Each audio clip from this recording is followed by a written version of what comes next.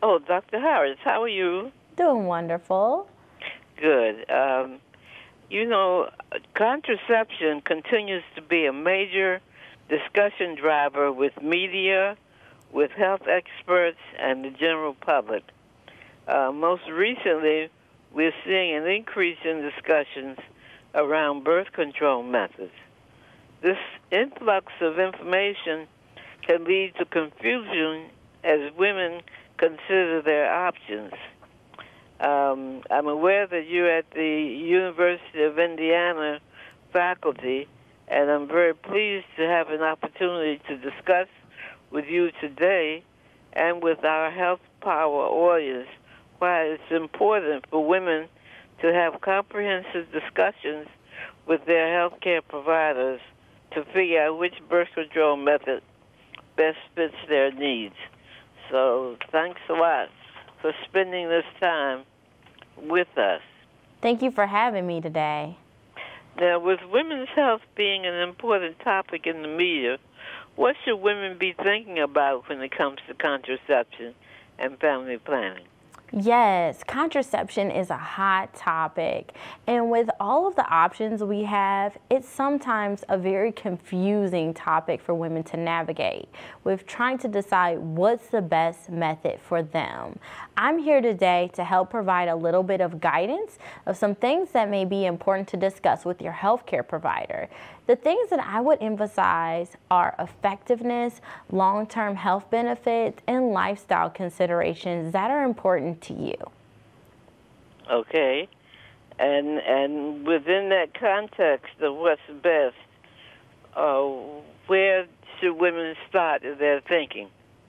Yes, it's important to understand that there are actually 18 FDA approved methods of contraception available. And with those various types, there's actually tiers of efficacy where certain types are more effective than other types.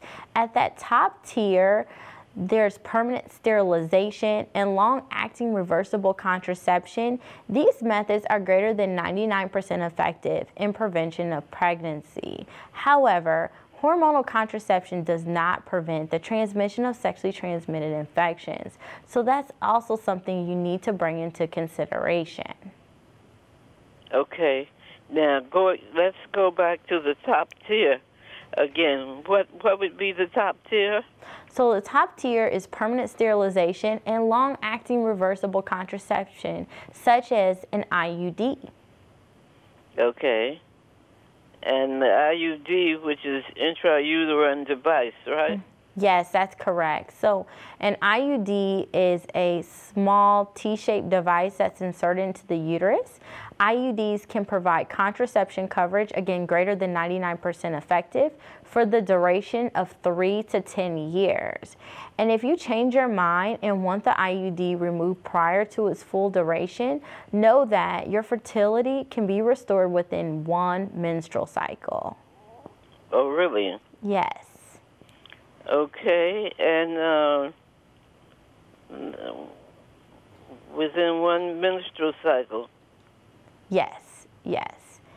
And of the newest IUDs that are on the market today, I would like to mention Kyleena, and I'm here with Bayer Pharmaceuticals to let you know a little bit more about this IUD. So again, this is a small T-shaped device. It's inserted by your healthcare provider in an office setting, providing five years of contraception coverage. That's again greater than 99% effective. And, and how, how, how, how, how are you spelling that particular one? So it's Kyleena spelled K Y L E E N A. K Y L E E N A. Okay, Kyleena. Okay, and you say that that gives five years of sterilization? Five years of contraception coverage. Five yes. years of, of, of coverage. Okay. And uh, what um, what is, is is that? What, are there other IUDs that are as effective? Yes, IUDs are equally effective and greater than 99% effective. Mm-hmm. Okay. And uh, you say it can be in- installed in the office setting? Yes, it can be inserted in the office setting in just a few minutes. And uh, are there complications or infection or anything like that that one would be concerned about? So, with all contraception options, there are potential side effects, risks, and benefits. So, it's important to discuss these details with your healthcare provider, as well as discussing your medical history to determine which is the best method for you. Okay. But generally speaking, uh, the number of, of side effects are not large. Yes, generally speaking, most patients are great candidates for an IUD. They um, contain progesterone, which is a hormone that has relatively few contraindications due to people's medical history. Also, highly effective in thinning the lining of the uterus to prevent pregnancy, and a very small amount is actually absorbed into the bloodstream, so there's a very low chance of side effects. Okay. You say progesterone. Do they have progesterone and estrogen, or just mainly progesterone? Just progesterone in the form of levonorgestrel. Okay. Now, where can women get more information about IUDs? So, for more information, a valuable website is kyleena-us.com. And just one second, just one second. Mm-hmm. Kyleena.us? Kyleena-us.com. Mm-hmm. US.com? Yes. And, okay. And then for more information regarding your health insurance coverage for contraception, I would recommend the website coverher.org. Coverher.org. Yes. That gives health insurance information.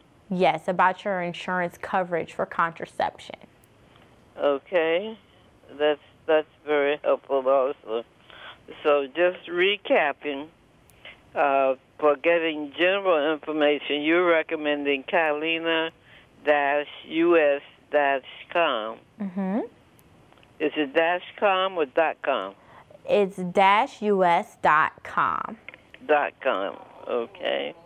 And then for more information about health insurance coverage, do most health insurers cover this? It depends on your individual plan, but I would say with the current state of health insurance coverage, most patients do have at least partial coverage for their IUD. I see. Okay. And one can get more information on that through coverher.org. Yes, and thank you for having me today. Okay, thank you very much. I'm sure this will be helpful for my Health Power audience. Thank you.